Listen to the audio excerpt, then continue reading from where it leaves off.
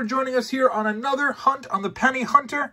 We do daily penny hunt videos. I want to thank everyone who has subscribed to the channel. We are doing an amazing job. I just, I thank you all for the support. It really means so much. If you haven't subscribed, please do so now by clicking the little subscribe button below the video. Click the bell icon to stay notified of all of our new videos every day. Happy President's Day. I thank you all for everything that you've done for the channel. Once again, we have a penny hunt here from Navy Fed. Navy Fed is a bank that started my penny hunt inspirations. Then they had a little bit of a problem getting pennies, so they stopped giving them to me. I started going again a couple weeks ago, and they had some. So sometimes when it comes to Navy Fed boxes, we have boxes like this. I'm not sure if they're customer wrapped. Now they appear to be. I place orders with them and they get deliveries for me. And sometimes I show up and I get bank wrap boxes, and sometimes I show up and I get these boxes. So we have no way of knowing what's inside these. Um, I just, I don't know. So the last time we did a hunt from Navy Fed, we had 43 wheat cents in two boxes, with one of them having 31. Um, Navy Fed does average a wheat cent more than every three, or sorry, less than every three rolls at 34.7% of the rolls. Let's get kicking and see what we can find. Unfortunately, like I said, no enders here, but if I get anything, I'll bring you in. As a reminder, we do use the new point system, which I will include after this video.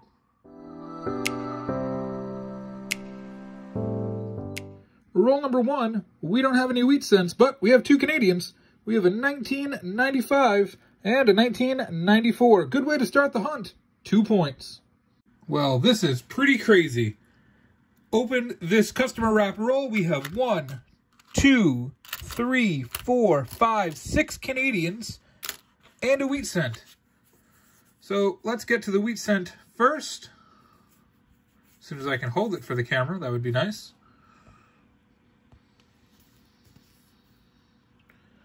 It's a 1956 out of Philly. It's our first wheat cent, and that's one more point. We have three, but we're about to have a lot more. A 1979, that's four points. 85, five points. 83, six points. 89, seven points. Oh, I think I found one more up here. 82. 78. 79. We still have two more. 89.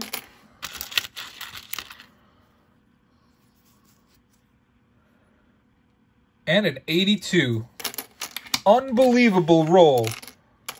One, two, three, four, five, six, seven, eight, nine Canadians and a Wheatie in that roll. Oh, there's one more right here. 10 Canadians in one roll. We're up to 12 Canadians. 94 right here. Unbelievable. Roll number four had another Canadian. We had 11 Canadians in this roll. It's a 79. Roll number seven gives us our 14th Canadian. Holy cow. What have we have here? Now, granted, we did just have 11 in one roll, but still, we are up to 14 already. Roll number eight, we have another Canadian and a wheat cent. It's a 1986 and our second wheat cent of the hunt. Oops. It's a 1956 out of Philly. Great find. I'll set it aside. Buried under a stack of coins was wheat cent number three in roll number eight we have a 1955 Philadelphia wheat cent number three. Well, number eight also had Canadian number 16 in it. We're averaging two Canadians a roll already. Could we have a hundred? Roll number nine had our fourth wheat cent.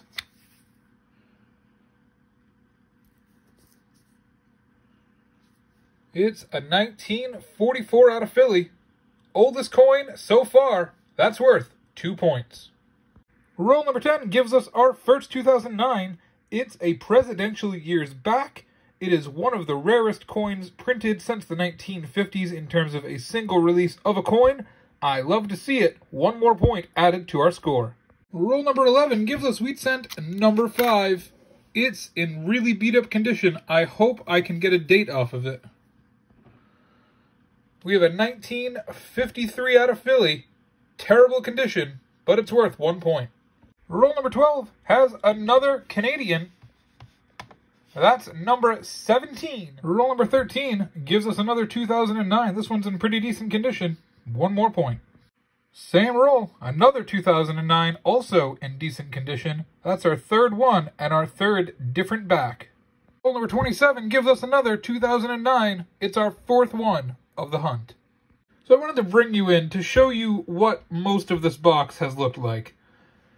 Dirty, rotten, zinc cents. Now we do have a lot of Canadians and we have found a couple wheat cents and then I saw it. Wanted to complain about the roll. Then we found a 1956 Denver that looks like it went through the ringers and a fire. So that is another wheat cent. We're up to six, but we're not getting a lot of coins, and a lot of them are filthy, dirty. Look at this. Absolutely disgusting. My fingers are just getting ripped up. Coin roll hunting can be dirty sometimes. Well, there it is in roll number 21. We hit all four different 2009 backs. There's a ton of 2009s in here. This is number six already and only roll number 23. I'm going to check this also for the double die. Once again, if it is, I'll bring you in. If not, I'll show you the next hit. Same roll, we have another one. Unbelievable. Tons of 2009s in this box. Roll number 24. Only fitting that on President's Day, we're pulling a bunch of these commemorative Abraham Lincoln pennies. A little bit of a drought here. Roll number 25 gives us our 18th Canadian after we had 16 in the first 10 rolls. I wanted to bring you in for this in roll number 25. I don't find a whole lot of these. 1969S. It is our first S Mint find of the box. Now, the 69S has a very famous DDO and DDR find. Um, it's probably the second most famous double die in pennies.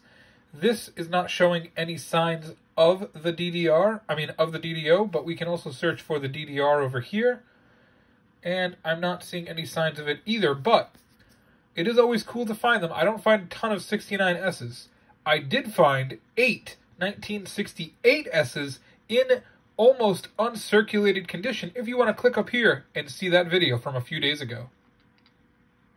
Roll number 26, buried under some other pennies. Wheat cent, number 7. We're halfway through the box. It's a pretty shiny 1950S. It's not red, but it's it's got a little bit of luster to it. That's a nice coin. I'll take it. Three points. Another 2009. That gives us nine 2009s halfway through the box. Our highest of all time is 14. Well, there it is. Roll number 30 gives us another 2009, and it is our third presidential year-backed coin in the box. Roll number 34 gives us wheat cent number 8. It's a 1944 Philly Two points added to our score. Roll number 35 gives us wheat cent number 9. It's a 1941 out of Philadelphia. Really beat up. Two more points added to the score. Roll number 36 brings us our 19th Canadian of the box. We have only found three Canadians since roll number 10. It's a 1987. Right behind the Canadian, we have a 1971 S Mint Mark. One more point added to the score. Rule number 37 brings us Canadian number 20. It's a landmark number. It's a 1996. 2009 number 11. It's in bad shape. One more point added to our score. Rule number 40 brings us our 10th wheat cent of the hunt. It's a 1957 out of Denver. I didn't see it because they were back to back and face up, but also in roll number 40, another wheat cent. It's a 1958 out of Denver, and it's a pretty solid coin. I'll take it. Yet another 2009 penny. That's number 12 of the box. Same roll, roll number 47, yet another one, number 13. Our record is 14. We have three rolls left. Can we find number 14? Roll number 48 gives us a parting gift. It's another wheat cent. It's number 12. And it's a 1949 out of Denver. That's worth two points. Well, here it is. Navy Fed. I don't know. It wasn't a terrible hunt. It wasn't a great hunt either.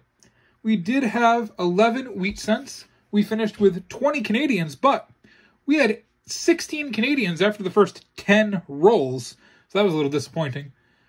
But on President's Day, we did finish with 13 2009 coins. I think that's pretty cool. These coins celebrated the life of Lincoln. Today, we celebrate President's Day, which was an inspiration because of Lincoln's birthday, which was celebrated on February 12th, and George Washington's birthday. So I think that's pretty cool that on President's Day we had a bunch of these coins.